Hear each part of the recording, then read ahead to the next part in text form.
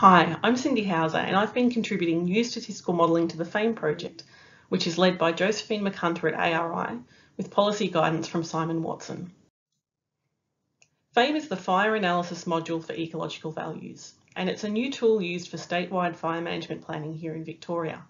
FAME brings together spatial data on fire history, vegetation and animal populations to evaluate the impacts of fire on ecological values. Event last year, the FAME team won the Forest Science Award, and the project went on to win an International Decision Analysis Practice Award from Informs in Seattle. An important component of FAME is predicting how species will respond to bushfires and planned burns.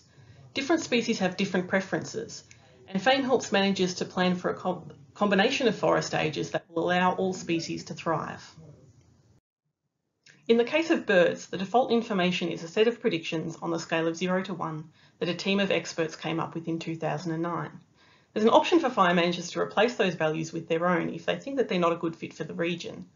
And of course, DELWP and other scientists collect survey data on birds that's relevant to this prediction. Let's say that someone did a 20 minute survey in tall mixed forest that was last burned 18 years ago. They don't hear an eastern yellow robin. Does that mean that eastern yellow robins aren't here and the experts are wrong? Does it mean that the robins are here but the people doing the bird survey are bad at finding robins? And if the survey has heard two robins call in 20 minutes, what does that mean on this scale of 0 to 1 anyway? If we want to make the best use of all sources of information, there's more work to be done.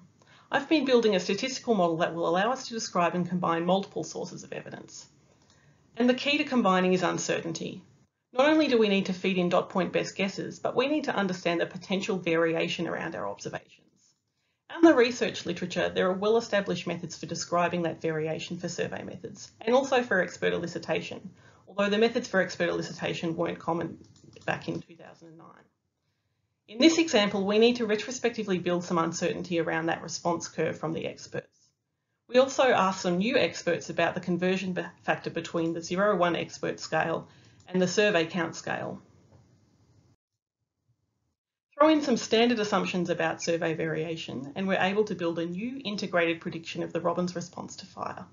It's also something we can update as new data come in. In the past year, we've simply been building the proof of concept, and the task ahead is to scale this up to the hundreds of species already included in FAME. When we use models like these, we're going to look less sure than before, but that's because we're carrying an honest representation of the range of possible responses. This gives us the best opportunity to plan and act in the face of an uncertain future. Thanks.